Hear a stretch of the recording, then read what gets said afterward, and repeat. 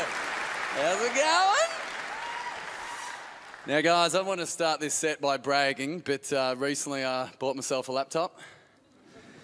Bought it outright. Thank you.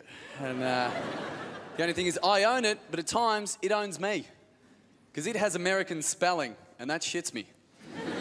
it always corrects me. The other day I just wrote the word meter M E T R E, and it corrected me. It said, no, it's meter. M E T E R. I'm like, screw you, America. You don't even use that standard of measurement. yeah. That's like a vegetarian just turning up to your barbecue and saying you should turn those steaks. Hey, you should piss off. This is not your jurisdiction. Why don't you go back to your tofu and your wind chimes and you leave me out of it, all right? I don't even know what quinoa is. I think it's unicorn spaff and I don't want to taste it, all right? yep. Unicorn spaff. I think we all got our money's worth here, didn't we? That was top shelf. Except being on my laptop, I'm on the internet constantly, more than I should be. But the thing is now, anyone can leave anything on the internet. There's so many avenues. People can go on Twitter, they can go on Facebook, they can go on MySpace if they're still living in 2000 and give that shit up.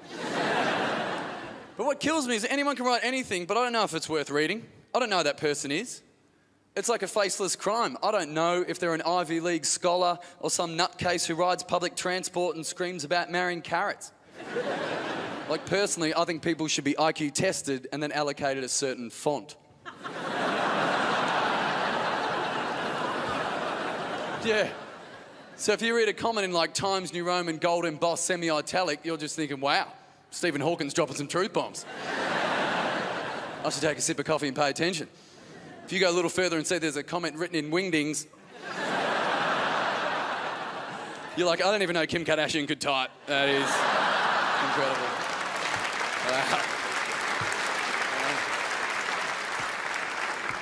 I think we live in a day and an age now where people, we're too worried about what's going to happen. But there is there's too many laws out now. We're too fastidious about things. You know, in some states of Australia, a police officer can fine you on the spot if he hears you swearing in public.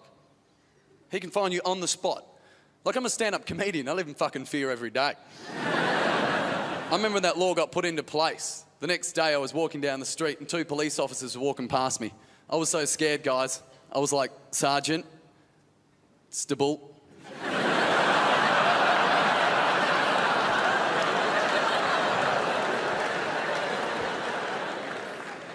and when I found out about this law, this blew my tiny mind apart did you know that if a man is sitting on a commercial flight in Australia, any commercial flight in this country, and if he's sitting on his own, but he is sitting next to an unaccompanied minor, a child from 12 or under, that man has to get moved on the off chance that he's a pedophile.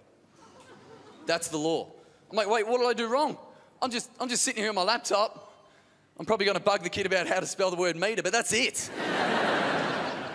But you know, after I heard that law, I realised something now, guys. I now never, ever have to sit next to a screaming child on a flight ever again. All I have to do is go, boom.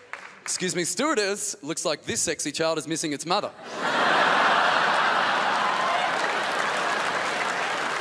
Guys, I've been Dave Thornton. Thanks.